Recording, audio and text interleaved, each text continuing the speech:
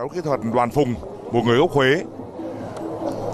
Ông Đoàn Phùng cách đây 2 tháng đã đến Quảng Nam để đảm trách việc đào tạo trẻ. Và lúc này chuyên gia lão làng Đoàn Phùng kiêm nhiệm thêm vị trí giáo kỹ thuật của đội một Quảng Nam. Hiệp một trận đấu giữa đội Quảng Nam và Sông Lam Nghệ đã bắt đầu.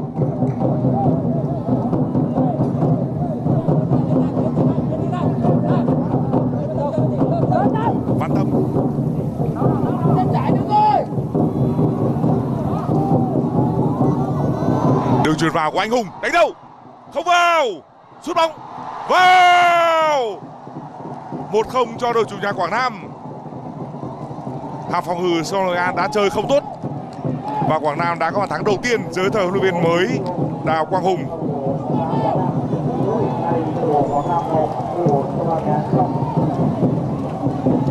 Bàn thắng đến khá dễ dàng. Phút thứ 6 của trận đấu và đội chủ nhà đã sớm có được lợi thế. Tác giả bàn thắng vừa rồi là Huy Hùng.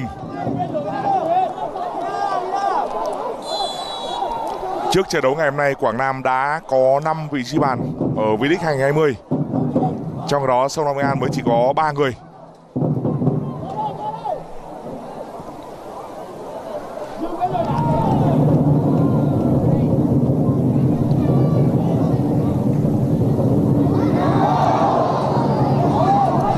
Huy Hùng. Cú đá từ xa. Không vào.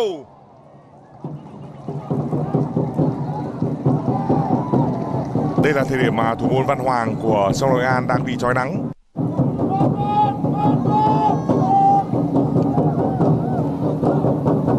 Chúng ta xem lại pha sút xa ngoài vòng cấm. Cú đá từ xa khá nguy hiểm.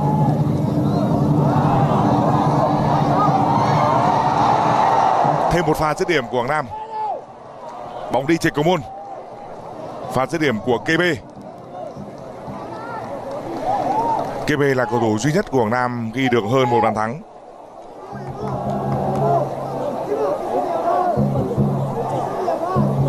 KB tranh thủ rút Đinh Thanh Trung. Pha phạm lỗi. Chiếc thẻ đầu tiên trong trận đấu thẻ vàng dành cho sĩ sâm là chính xác. Đó là một tình huống mà thanh trung có thể thoát đi và tạo ra một cơ hội.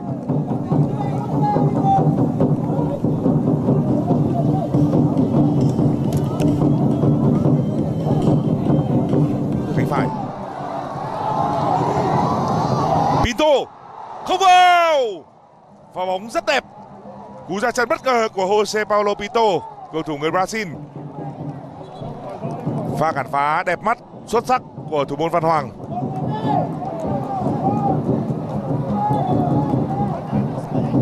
Trong hiệp một của trận đấu Văn Hoàng bị ngược nắng. Tình huống không hiểu nhau. Một cơ hội, Hồ Tuấn Tài. Vào! Tỷ số được sang bằng một đều. Sai lầm bất ngờ của cao thủ Quảng Nam và Sông Long An đã có bàn thắng Pha cái bàn đầu tiên của Tuấn Tài ở V-League 2020. Một sai lầm rất bất ngờ và các thủ Sông An đã tận dụng rất nhanh. Đó là bàn thua rất đáng tiếc của đội chủ nhà Quảng Nam.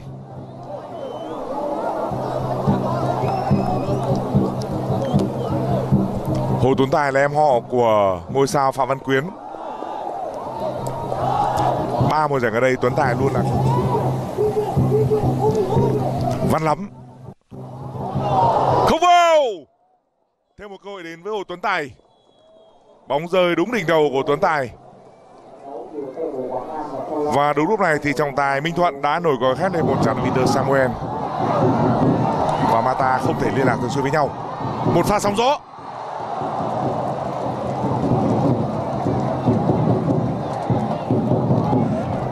Hy vọng hiệp hai của trận đấu sẽ sôi nổi hơn. Hiệp một diễn ra khá buồn tẻ. Tình huống xử lý của quốc Chí, hồng sơn. Rất nguy hiểm. Văn Hoàng đón không đúng điểm rơi.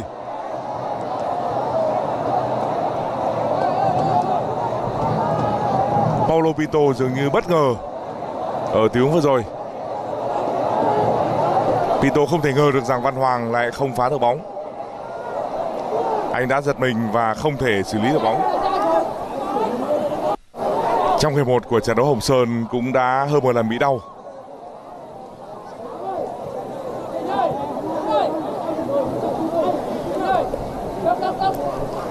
Pha phạm lỗi của Văn Lắm.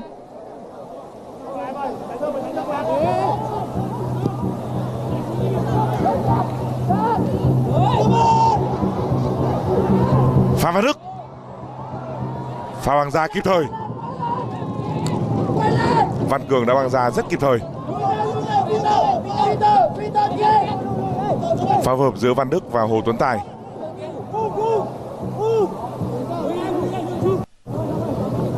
Thủ môn Văn Cường đã phán đoán được ý định của đối phương và chủ động Peter Samuel. Không việt vị. Cầu thủ sông An đã ngã, tuy nhiên không có tiếng còi.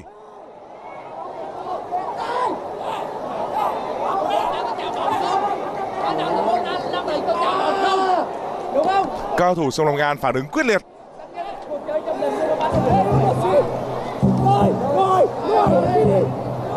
Rất nhiều người có cảm giác đó là một quả penalty.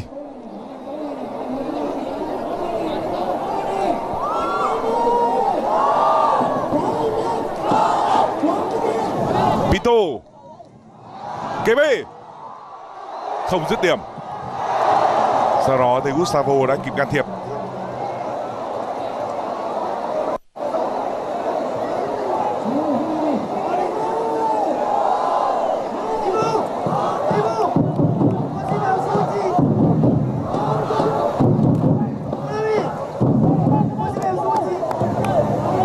Đây là thời điểm mà KB không đạt được phong độ tốt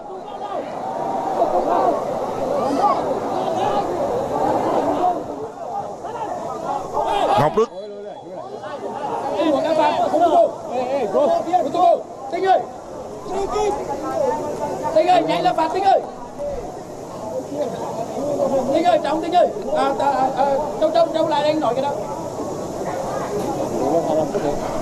Ngọc Đức đang bị đau. Văn Cường ném lên rất nhanh.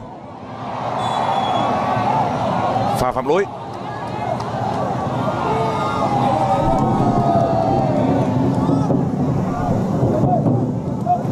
Thẻ vàng dành cho Văn Lắm.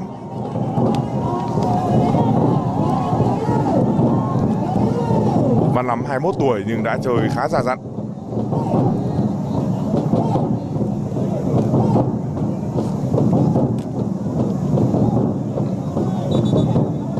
Văn Lắm phạm lỗi với Đình Thắng. Cầu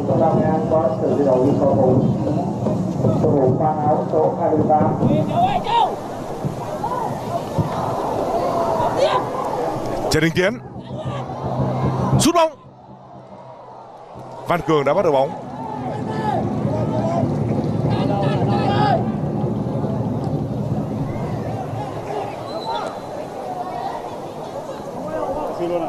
Đình Tiến đã tiếc nuối với cơ hội vừa rồi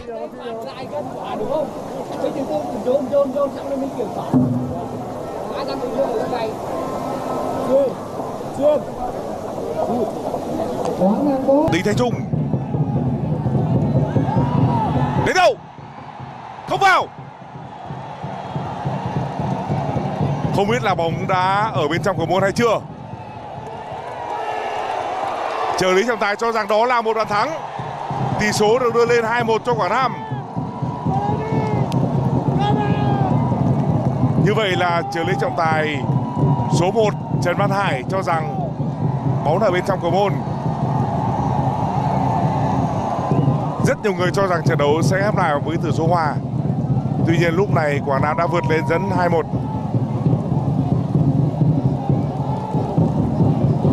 Sông Lam Nghệ An khiếu nại.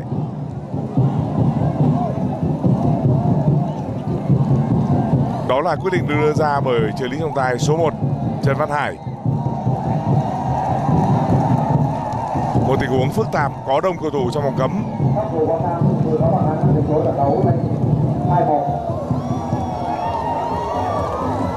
Sự thất vọng của trung vệ người Brazil Gustavo.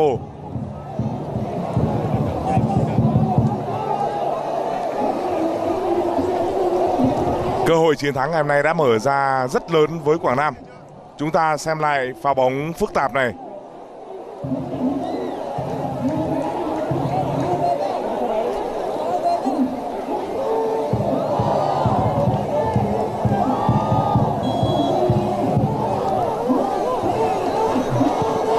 Cảm giác là bóng đã ở bên trong cầu môn.